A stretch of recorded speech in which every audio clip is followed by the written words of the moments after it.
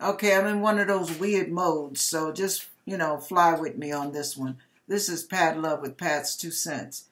I feel like God is telling somebody, I got it before and I didn't know whether I should go with it or not. God is saying to somebody out there, do not make a move right now. Consult with me first.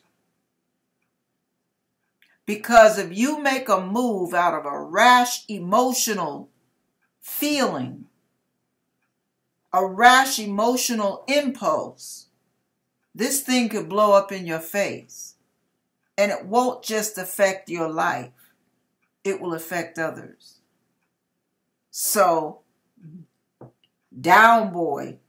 Slow your roll. Take a minute. It's Pat talking now. Take a minute and do what I believe God said do. He said, I believe this now. I may be wrong, but I believe He said, consult with me before you do that.